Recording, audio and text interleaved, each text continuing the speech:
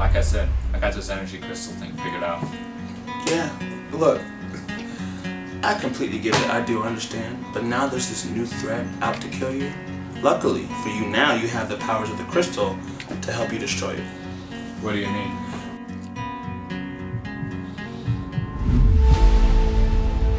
In other news, an anonymous spaceship has been discovered here at the Grand Canyon.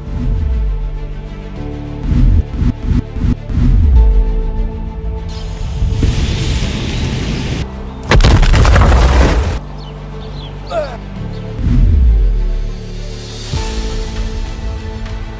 may look like a little non-disciplined teen boy, but he does have I can't believe the fate of all reality rests on that kid up there.